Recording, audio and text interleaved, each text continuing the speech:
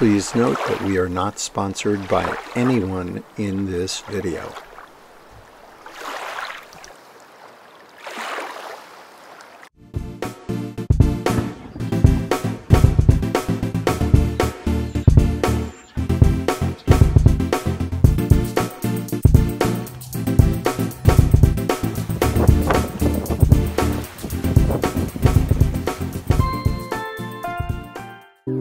Me and the crew made it down to Annapolis, Maryland for the International Sailboat Show.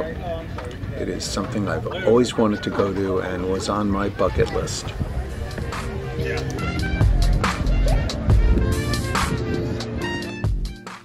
I stopped by the Sailrite booth and checked out their new sewing machine. These are by far got to be the best sewing machines for sailboaters.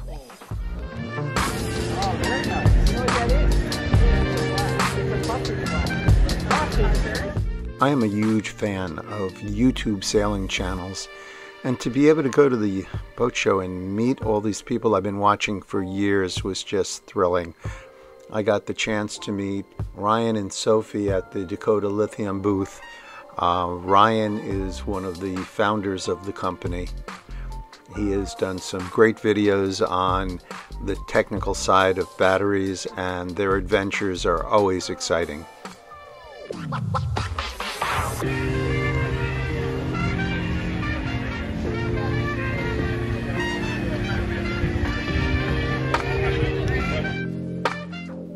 Lauren and Kirk are smart young professionals who have embraced the sailboat cruising lifestyle. Watching their channel, you get to know them and their philosophy of life. They have recently just had a child and they're moving up from their Tartan 37 to a more stable platform.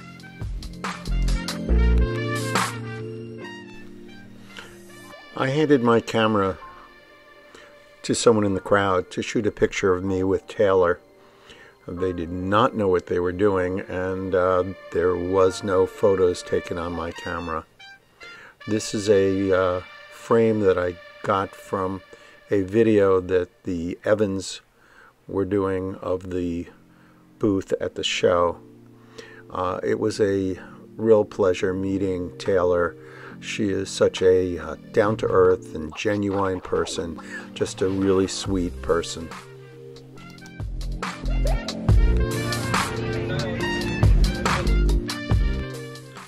Sailing Vessel Basic. These guys are a great family. I've been watching them from years, watching Emma grow up. Lynn is an incredible cook, and I have written down some of her recipes that she does on the show, and I have uh, made them. They are wonderful. Um, Teal does incredibly detailed work on his boat. The fiberglassing he's done, I've learned so much from, and his wiring is so precise and neatly done. It is it is a artwork in itself.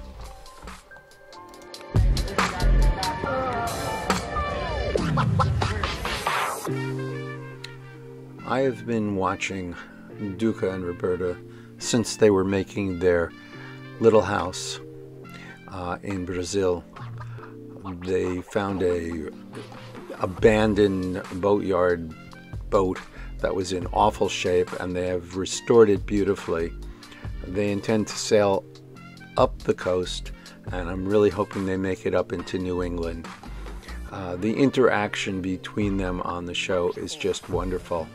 It's just so amusing and they're so real and natural and wonderful people. Steve and Judy are professional documentary filmmakers. They bring an incredibly good quality to their channel. Judy concentrates on bringing you the culture of the areas which they visit, and you really get a feel for the towns and the scenery where they go. Uh, Steve is more of the um, techie person and does wonderful videos on the technical side of the boat and sailing and equipment. Um, they are also a minority in that they're um, closer to the age of the people who actually do this.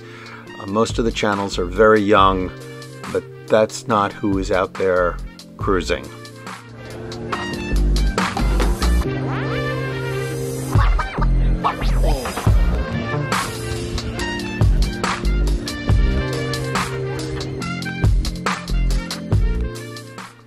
This is my friend Brian and his longtime friend Sharon Day, president of Catalina Yachts.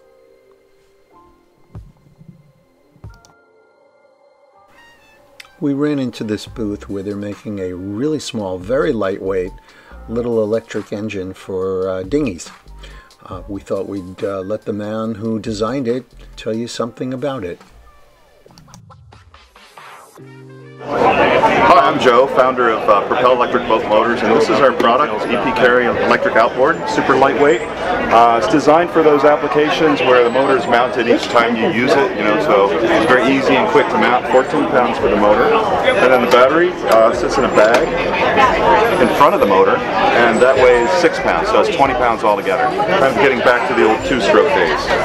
Uh, at full power, that's hull speed on most dinghies, so uh, if your dinghy has a hull speed of 3.6 knots, that's how fast you're going. You get an hour and 10 minutes of runtime from the waterproof battery. Um, the battery comes in a bag that's a, uh, it's a buoyant bag, so we call it our battery flotation device, a BFD. Uh, so when you drop the battery overboard, you can recover it. Everything's waterproof and uh, survivable. Runs for an hour and 10 minutes at full power, two hours at half power like this, and, uh, and four hours and 40 minutes at quarter power like that, which is still around two and a half knots. So check us out. We're online, epcarry.com.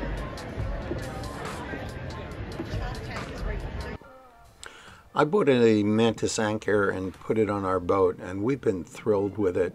So I stopped by the Mantis booth. What you're looking at, this is our 8-pound stainless steel model. This is our breakdown. This is our largest model that breaks down without nuts and bolts for dinghies or for that small sailboat that's racing that needs something small that they can stow and break down fairly easily. Maybe even put in the back. This might be for you.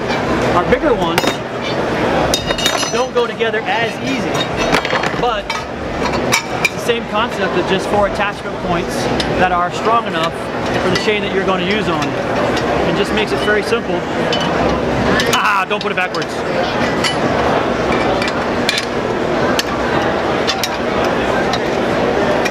Don't do it with sweaty hands, right? And then back together. Now, obviously our big boat ones don't do that. Our big boat ones have bolts. Each one of those bolts is stronger than the chain that you would use on this anchor. We got four bolts, so pretty strong.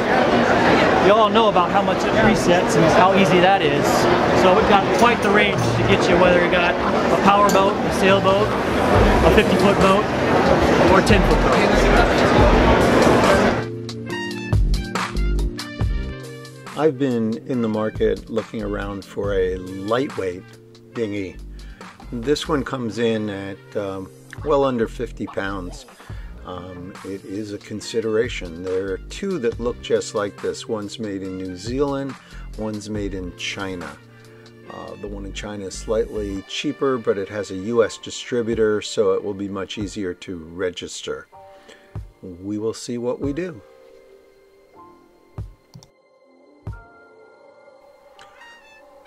By far, my favorite boat at this boat show was the Tartan 395. This is a panoramic view of the interior.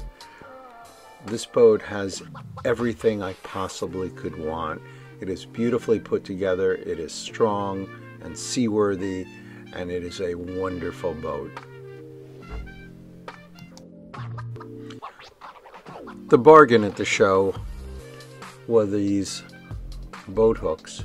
West Marine were selling the boat hooks at their booth for $15. That is truly a bargain.